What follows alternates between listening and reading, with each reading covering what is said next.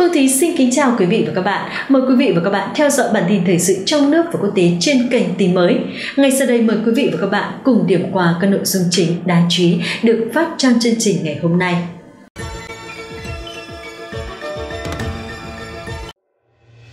Chào mừng các bạn đã quay trở lại với bản tin của tin mới trong bản tin ngày hôm nay. Các bạn thân mến, tin mới sẽ mang đến cho quý vị và các bạn nội dung sau. Bão Mulan đổ bộ miền Nam Trung Quốc Kính thưa quý vị khán giả, bão Mulan Việt Nam gọi là bão số 2 quét qua Biển Đông tiến vào vùng đảo Hải Nam Trung Quốc trong ngày hôm qua có khả năng làm gián đoạn công tác xét nghiệm hàng loạt trên hòn đảo vốn đang vật lộn với dịch COVID-19.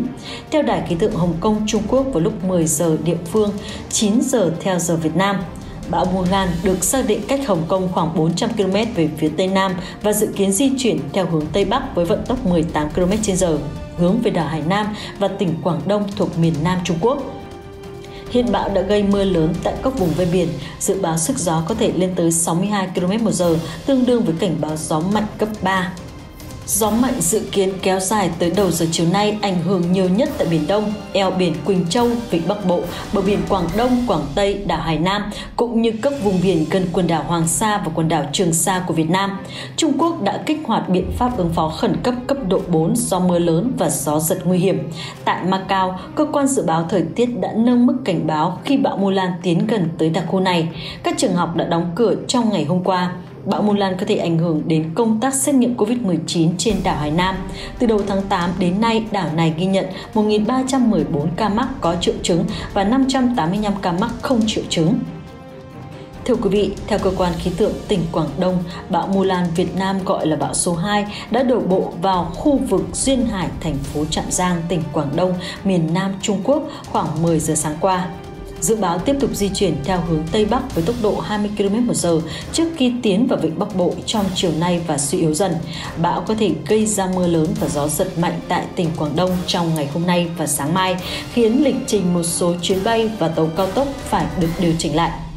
Trước đó, tính đến 8 giờ sáng, tất cả các chuyến bay tại sân bay Trạm Giang đã bị hủy, trong khi đó chính quyền đảo Hải Nam thuộc tỉnh Quảng Đông đã sẵn sàng đón các chuyến bay quay đầu trở lại để tránh bão. Đây là các chuyến bay chở những du khách đủ điều kiện rời đảo theo chính sách phòng chống Covid-19 của địa phương. Tại Macau, Trung Quốc, giới chức địa phương cũng đã nâng mức cảnh báo bão và yêu cầu các trường hợp đóng cửa trong ngày hôm nay. Đây là cơn bão số 7 trong năm nay tại Trung Quốc và việc bão đổ bộ với lượng mưa lớn kèm theo gió giật nguy hiểm đã buộc giới chức sở tại phải kích hoạt biện pháp ứng phó khẩn cấp cấp độ 4. Hồ Bắc xuất hiện vòi rồng, Tứ Xuyên bị ngập lụt nghiêm trọng.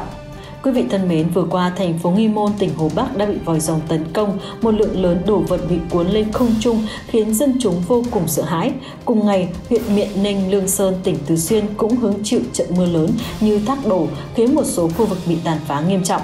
Truyền thông đại lục đưa tin vào lúc 7 giờ tối ngày hôm kia theo giờ địa phương trên đoạn đường gần thôn Song Tuyển thành phố Kinh Môn tỉnh Hồ Bắc xuất hiện vòi rồng, hàng chục cây to ven đường bị bật gốc, tại một số trang trại các công trình nhà ở bị phá hủy, xe cộ cũng bị hư hại, tạm thời chưa có báo cáo về số người thương vong. Từ video được chia sẻ trên mạng cho thấy, từ xa bầu trời đột nhiên trở nên âm u, sau đó vòi rồng xuất hiện, tốc độ di chuyển của cơn lốc vô cùng nhanh. Sau đó một lượng lớn các đồ vật bị cuốn lên không trung. Hệ thống dây điện hai bên đường do bị gió lớn thổi mạnh mà bị chập điện té lửa. Gió lớn cũng đã thổi đổ cả lều lán, cây cối, biển chỉ đường. Ngoài ra còn có một số xe cộ cũng bị hư hại nghiêm trọng. Theo tờ Hồng Kông Economic Times đưa tin, thành phố Nghi Sương, tỉnh Hồ Bắc lại có mưa lớn. Lượng mưa lớn nhất ở huyện Viễn An, thành phố Nghi Sương đạt 203,1 mm. Cơn mưa lớn đã gây ra ngập lụt nghiêm trọng ở khu vực thành phố Nghi Sương. Một số khu vực mực nước ngập lên đến 50 cm. Tại ngã tư đại lộ Đông Thành và đường Tiểu Nha, một số xe cộ bị chìm trong nước sâu khiến người trong xe không thể mở cửa thoát ra ngoài. Cuối cùng, cảnh sát giao thông phải phá cửa kính mới giải cứu được người đang bị mắc kẹt trong xe. Trên toàn bộ đường cao tốc dẫn đến đập Tam Hiệp có nhiều đoạn bị ngập lụt và sạt lở đất. Các đoạn nguy hiểm đã được đánh dấu bằng cột báo hiệu giao thông cấm tới gần. Cùng ngày tại huyện Miện Ninh, Châu Tự Trị Lương Sơn dân tộc Di tỉnh Tứ Xuyên cũng phải hứng chịu những trận mưa rất lớn, nhiều khu vực bị ngập lụt nghiêm trọng, nhà cửa bị sập, cầu đường bị hư hại các nông trại quy mô lớn cũng bị ảnh hưởng. Thị trấn Di Hải đã sơ tán hơn 4.100 người, phố Cao Dương cũng sơ tán hơn 3.400 người. Theo tờ Apple Daily của Hồng Kông đưa tin, đến 4 giờ chiều ngày hôm qua, mưa lớn nghiêm trọng đã khiến 12 người thiệt mạng và 10 người mất tích. Trong đó, 10 người đã thiệt mạng trong trận lũ lụt xảy ra ở thị trấn Di Hải. Hệ thống cống thoát nước cũng bị tổn hại hai chiếc xe đi qua quốc lộ 248 bên dưới lối ra của đường cao tốc Biện Ninh bị lật khiến hai người chết và ba người mất tích. Cùng ngày, Thành Đô Tứ Xuyên cũng đưa ra cảnh báo xanh về mưa bão. Khu thắng cảnh phía sau núi Thanh Thành, khu thắng cảnh Thiên Thai Sơn ở Cung Lai tạm thời đóng cửa, khu thắng cảnh phiêu lưu ở Hồng Khẩu, Đô Giang Yển đã phải tạm dừng hạng mục phiêu lưu. Theo tin tức tổng hợp từ các phương tiện truyền thông Trung Quốc, mưa lớn ở miền Nam Trung Quốc gần đây đã trở thành thảm họa. Tính đến ngày hôm qua, tổng cộng 26 tỉnh, khu tự trị và thành phố đã bị ảnh hưởng bởi lũ lụt, gây hại trong 13,74 triệu người dân, 81 người chết và mất tích. Ngoài ra, hơn 744.000 người phải tái định cư khẩn cấp, hơn 10.000 ngôi nhà bị sập và thiệt hại kinh tế trực tiếp lên tới 27,8 tỷ nhân dân tệ.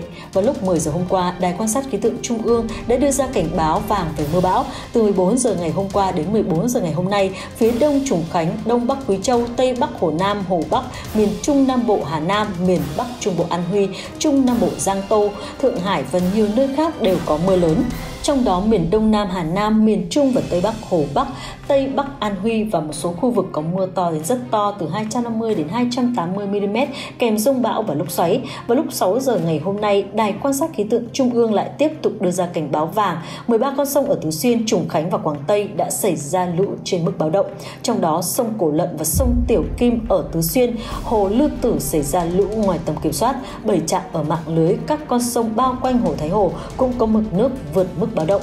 Dự báo 8 giờ sáng nay đến 8 giờ sáng mai sẽ có mưa lớn ở phía đông bắc Quý Châu, phía bắc Hồ Nam, phía đông Hồ Bắc, đông nam Hà Nam, An Huy, Giang Tô, Thượng Hải. Trong đó, ở các vùng phía đông An Huy và miền Trung Nam Giang Tô có mưa lớn từ 100 đến 200 mm. Các khu vực trên có lúc xuất hiện mưa nặng hạt, lượng mưa cao nhất lên đến 30 đến 50 mm một giờ nhiều nơi vượt quá 70 mm một giờ, có nơi kèm theo rông bão và lốc xoáy lớn. Theo dự báo của Bộ Thủy lợi Trung Quốc trong vòng 3 ngày, các vùng thuộc miền Nam Trung Quốc như Hoàng Hoài, Giang Hoài, Giang Nam, Tây Nam vẫn có mưa to, thậm chí rất to. Mực nước trên nhiều sông như sông Trường Giang, Hoài Hà, Thái Hồ, Châu Giang đang tràn bờ. Tại thượng lưu sông Thái Hồ, Hoài Hồ và một số khu vực khác có thể xảy ra lũ lụt trên mức báo động. Ngoài ra, mưa lớn cũng là một số sông vừa và nhỏ xảy ra lũ lớn. Trung Quốc thêm người chết, thông báo cấp báo động vàng. Thưa quý vị, theo báo cáo truyền thông, Đài khí tượng thủy văn Trung ương thông báo cấp báo động vàng. Hôm qua, mưa lớn tập trung khu vực các tỉnh An Huy, Giang Tô trên diện rộng. Phía đông tỉnh An Huy, khu vực miền Trung và miền Nam Giang Tô có mưa rất to kèm theo sấm chớp và gió giật mạnh. Hôm nay, ông Hàn, người phụ dương tỉnh An Huy nói với Export Time rằng nơi này đã mưa lớn 5 ngày liên tiếp. Hôm qua mưa rất to có chỗ nước ngập lên đến 6 mét. Một thiếu niên đã bị điện giật chết do hở điện đèn đường thành phố Hợp Phì ngập chìm rộng theo sông Trường Giang. Video được đăng bởi người dân địa phương cho thấy thành phố Hợp Phì thuộc tỉnh An Huy có 168 trường trung học và cư xá ngập trong nước. Người quay video nói, nước dâng cao tới thắt lưng rồi. Ở huyện Phì Tây nước ngập hết vào nhà dân, mực nước cao quá ghế sofa trong nhà, nhiều xe cộ trường học đều chìm trong biển nước. Cô Lý, người thành phố Nam Kinh, tỉnh Giang Tô nói với Export Time rằng ở Nam Kinh mưa đã nhỏ hơn so với 10 ngày trước, nhưng Kinh Châu thì mưa còn rất to và thậm chí tình hình còn tệ hơn. Bên kia mực nước dâng cao, xe ngập chìm trong nước là chuyện bình thường. Mưa đã vài ngày, mưa rất lớn vào ngày hôm qua, nước ngập nghiêm trọng hơn. Giờ thì tạnh rồi, nhưng ngày mai trời lại có thể mưa nữa mực nước trong khu vực đô thị có thể liên quan đến mưa lớn. Hôm nay bộ phận cấp thoát nước đã đến khai thông dòng chảy. Tôi không rõ tình hình cụ thể ra sao, cô Lý cho biết. Cô cũng rất lo lắng về mực nước trên đập Tam Hiệp. Cô nói mực nước trên sông Nam Kinh lên cao. Hai ngày nay tôi dành thời gian để theo dõi tình hình mực nước sông. Trận mưa lớn nhất trong 6 năm có thể đổ vào khu vực Bắc Kinh, Thiên Tân, Hà Bắc. Thưa quý vị, gần đây mưa lớn đã quét qua Trung Quốc đại lục với lượng mưa lên tới 400 đến 500 mm ở Quảng Đông và Phúc Kiến, rông lốc lạnh kèm theo mưa đá ở Hà Bắc, Liêu Ninh và những nơi khác. Một số báo cáo chỉ ra rằng cơn rông lốc lạnh sẽ quét qua khu vực Bắc Kinh, Thiên Tân, Hà Bắc, thậm chí vượt qua trận mưa lớn cùng kỳ năm 2021. Và chiều qua, một trận mưa lớn bất ngờ xảy ra tại làng Mù Hoàng Wu, thị trấn Chunwangji, huyện Loài Đài, tỉnh Hà Bắc lượng mưa rất nhỏ, thậm chí trạm thời tiết cũng không đo được lượng mưa thực tế. Sau đó, theo kết quả điều tra lũ lụt, lượng mưa kéo dài khoảng 1,5 giờ và cường độ mưa tối đa hàng giờ là khoảng 100 mm. Kể từ khi cơn bão nhẹ suy yếu, vành đai mưa chính đã ở lại tiền tuyến của Quảng Đông, Phúc Kiến và Đài Loan trong một thời gian dài và mưa vẫn tiếp tục ở tỉnh Quảng Đông. Lượng mưa hàng ngày ở thành phố Lufeng đã từng vượt quá 400 mm, phá kỷ lục lịch sử. Gần đây, tình trạng hạn hán ở Hoa Bắc và Đông Bắc Trung Quốc đã phát triển nhanh chóng do vùng cao cận nhiệt đới đã nằm sâu trong Thái Bình Dương từ lâu nên tất cả hơi nước tích tụ ở phía Nam và Đông không thể bốc lên, vẫn còn thiếu lượng mưa sau khi xoáy lạnh vào đầu tháng.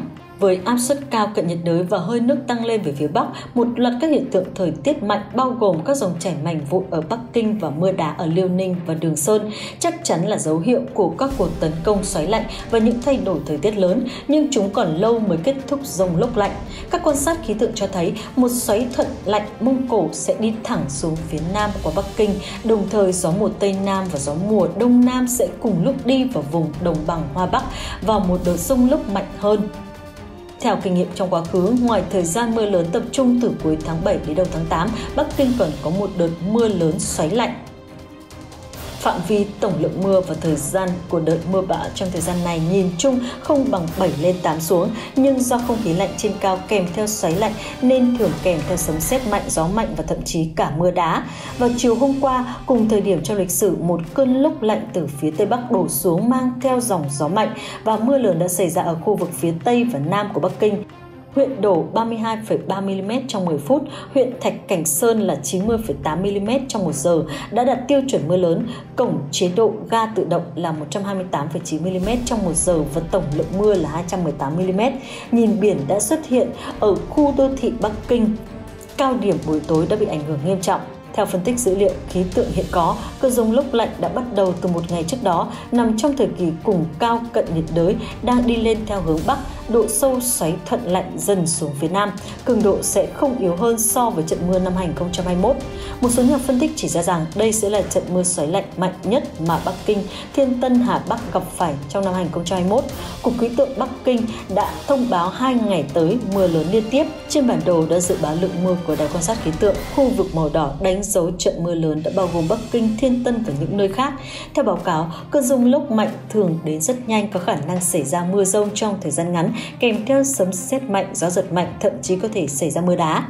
Và thông tin trên cũng đã kết thúc chương trình hôm nay của tin mới. Để không bỏ lỡ những thông tin của chúng tôi, quý vị hãy bấm like, share và subscribe để nhận được thông báo mới nhất khi chúng tôi phát sóng. Còn bây giờ, xin thân ái chào tạm biệt và hẹn gặp lại.